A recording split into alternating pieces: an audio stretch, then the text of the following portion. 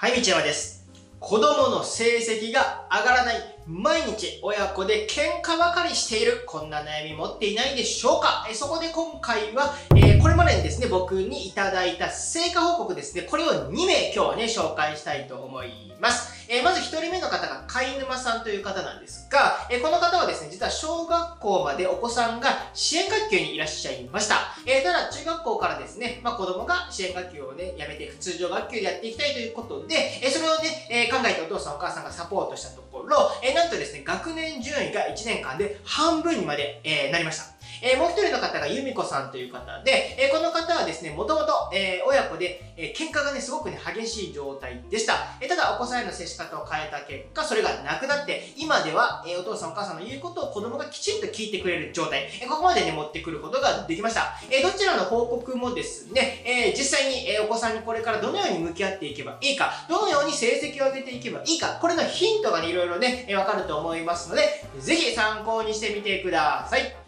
はい。では、まず最初に、貝沼さんの成果報告からお話ししていきたいと思います。えー、貝沼さんはですね、2020年の10月に、え私が行っている定期テスト対策プログラムっていうものとですね、あと中学1年生のお父さんお母さんだけが参加できる中1子育てっていうね、そういったオンラインプログラム、こちらにもね、参加してくださいました。えその結果、もともとね、中学校始まった時は学年順位が30位だったんですが、それがなんと参加後にね、14位、つまり半分まで上がることができたたわけですね。えー本当にね、これはお父さんお母さんがね、しっかりサポートされた結果だと思います。素敵な成果報告を送ってくださった貝沼さん親子、本当におめでとうございます。はい。じゃあですね、実際どんなことをされたのか、えーこちらもね、紹介していきたいと思います。親子で一緒にサポートしたことが理由っていうね、そんなお話になります。じゃあ、いただいた感想をね、えー少し読んでいきたいと思います。えー息子は小学校でトラブルがあり、支援クラスで過ごしていました。えー中学では普通クラスで勉強したいと強く願い、私も応援したく、学校の先生方と何度も話し合い、サポートを受けながらの普通クラスの生活をさせてもらえることになりました。英語が苦手だったので、コツコツ毎日単語を、えー親子で勉強しています。え苦手な教科は親子で勉強する方がいいですね。え親子関係も良くなりました。主人が数学を見てくれていたのですが、通知表で5段階評価で5になりました。え少しずつですが、学年順位も上がり、3学期のテストでは今までの最高得点を取ることができました。え何かあれば支援クラスに行くこともあると学校から言われていましたが、え友達にも恵まれ、え普通クラスで1年生を過ごすことができました。とのことです。えー通常ですね、小学校でお子さんが支援クラスに入っているってことはですね、まあちょっとね、症状は詳しくわからないんですが、何らかしらのね、発達障害なのか、もしくは発達障害のグレーゾーンなのかね、そんなような状態だったのかなと思います。通常この状態になると、多くのお父さんお母さんたちはね、まあうちの子はね、そんな成績上げられないから、まああのやっても無駄だなっていうふうに思われてしまう方結構いらっしゃるんですけど、そんなことがないってことが今回の成果報告で分かりますよね。で、ただ、もともとはね、やっぱ30位やったのでね、えー、いろいろ苦戦されていたと思うんですが、何をされたか、えー先ほどの文章を読んでいただくと、お父さんお母さんたちがしっかりサポートしているってことが分かりますよね。一緒に英単語を覚えたりとか、あとはお父さんがね、数学を指導したりとか、これをされているわけです。で、これ発達障害の子は特にそうで、それ以外の子たちでね、勉強が苦手な子もね、そうなんですけど、とえーそういった子たちはね、お父さんお母さん、もしくは家庭教師の先生、塾の先生あたりが、マンツーマンで指導するってすごく大事なんですよ。なぜかというと、なかなかね、そういった子たちって、簡単に一言言っただけで理解したりとか、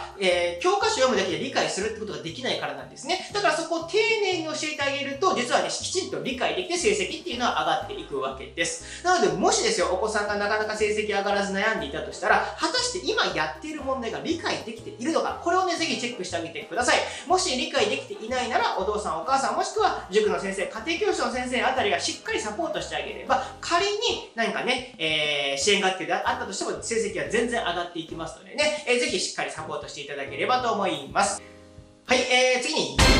ので、成果報告紹介していきたいと思います。えー、こちらの方は2021年の1月にね、私が行っている思春期の子育てプログラムというね、まあ子育て専用のね、プログラム、こちらにね、参加してくださいました。えー、その後、わずか3ヶ月でね、一気に結果が出たわけですけど、もともとはお互いにイライラしていって、えそしてですね、暴言を言い言い合うような、そんな日々を送られていたんですね。で、困って参加してくださったわけなんですが、えー、まあその状態だとね、やっぱりもちろんお父さんお母さんの話もね、聞かないですよね。で、困っていたということです。で、そしてその結果、え、3ヶ月後どうなったかというと、まず、え、お子さんがイライラしなくなったそうです。そして、えー、子供とのね、喧嘩することも減って、なおかつお父さんお母さんの言うことをちゃんと聞いてくれるようになったんですよね。3 3ヶ月でここまで変化が出るってね、本当にすごいことだと思います。まずはね、素敵な報告を送ってくださったゆみこさん、本当におめでとうございます。はい。ではで、実際何をされたのか、こちらもね、いただいた報告がありますので、こちら一部読んでいきたいと思います。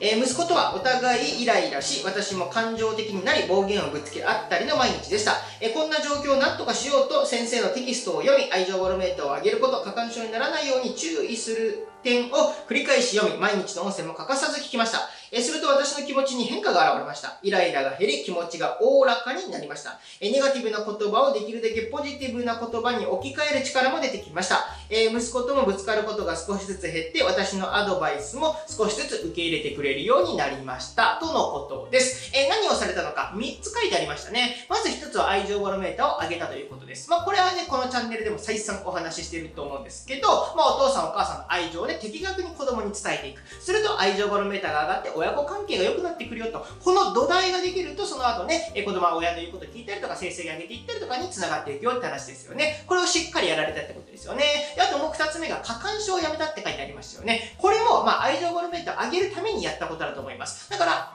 おさんお母さんがね、子供が嫌がってることを言い過ぎてしまう状態。これ過干渉なんですが、この状態になったら一旦やめてみるってことはすごく大事ですよね。で、最後三つ目はネガティブな言葉をポジティブな言葉、プラスの言葉に置き換えたって書いてありましたよね。ここがね、一つのね、今回ポイントだと思います。え、どういうことか。例えば、お子さんが成績で60点を取ったとします。この時に、えー、まあ、よくやってしまいがちなのはね、え、60点なのと、え、もうちょっといい点取ろうよとかって言ってしまうんですよね。これネガティブな言葉です。そうじゃなくて60点取った時に、お、すごいじゃん、前回55点だったのに5点も上がったね、よく頑張ったねって言ってあげるのがポジティブな言葉です。これ、あなたがお子さんだったらどっちの方がやる気出るでしょうか？もうどう考えてもポジティブな言葉言われた方がやる気出ますよね。で、仮に成績が前回より下がっていてもいいわけです。下がっていたとしたら、今度は頑張った過程を褒めてあげればいいんですよね。まあ、今回下がっちゃったけどさ、めちゃくちゃ勉強してたじゃんと。うん、次回絶対結果出るから頑張ろうねって言ってあげればいいわけですよ。ネガティブな言葉というのは子供を伸ばしません。でも、ポジティブな言葉というのは、何らかしら子供を伸ばしていくきっかけになっていくので、もし今ネガティブな言葉をかけていたとしたら、ここをね、一旦変えていただくといいのかなと思います。はい、ということで今回は2名のね、成果報告を紹介しました。えー、まあ特にね、やっぱ成績をアップってことなので、じゃあどのように実際成績上げていけばいいのか、自分もやってみたいって方もね、いらっしゃったと思います。この場合は、私が無料で配信している7日間で成績アップ無料講座、えー、この動画の右上からチェックできます。えー、こちらでお二人にお話ししたような、まあ愛情バロメーターの上げ方から何からね、いろいろね、無料でお話ししておりますので、まあもし読まれていなかったら一度こちらもチェックしつつ、今後 YouTube 見ていただけると嬉しく思います。